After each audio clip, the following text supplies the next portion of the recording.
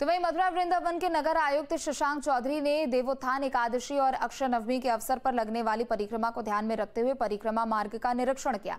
उन्होंने मोटरसाइकिल से पूरे मार्ग का दौरा किया और व्यवस्थाओं में पाई गई कमियों को चिन्हित भी किया। निरीक्षण के दौरान नगर आयुक्त के साथ अधिकारी और पार्षद भी अलग अलग बाइक पर मौजूद रहे। इस दौरान साफ़ सफ़ाई व्यवस्था को लेकर अधिकारियों को भी निर्देश दिए गए। मथुरा शहर के नगर आयुक्त शशांक चौधरी आज सुर्खियों में हैं, क्योंकि वो अपने काम के लिए जाने जाते हैं और शहर में स्वच्छता को लेकर वो हमेशा सजग रहते हैं। देर रात उन्होंने बाइक पर सवार होकर अधिकारियों के साथ शहर का निरीक्षण किया।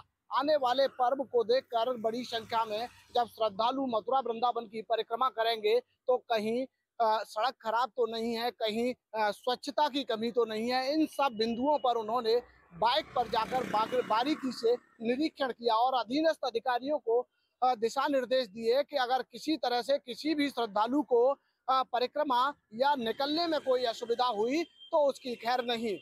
अब जिस तरीके से देखा जा रहा है कि आईएएस शशांक चौधरी, जो मथुरा शहर के नगर आयुक्त हैं जब वो बाइक पर निकले और ये वीडियो सोशल मीडिया पर वायरल हुआ तो लोग लगातार उनकी सराहना कर रहे हैं और कह रहे हैं कि शहर को ऐसे ही नगर आयुक्त की ज़रूरत है जो लोगों की और शहर की समस्या को जाने। जिस तरीके से देख रहे हैं कि शहर में लगातार शशांक चौधरी बाइक द्वारा भ्रमण किया और स्वच्छता जहाँ पर गंदगी थी और जिन इलाकों के अधीनस्थ अधिकारी थे, उनको भी उन्होंने कठोर चेतावनी दी है कि गंदगी बर्दाश्त नहीं की जाएगी और टूटी फूटी सड़कें जिन स्थानों पर मिली थी, उन्होंने कहा है कि देव उठनी एकादशी और अक्षय नवमी से पहले सड़कों का पूरा निर्माण कर लिया जाए और स्वच्छता पर विशेष ध्यान दिया जाए। Dharaji Saraswat, news state, Mathura.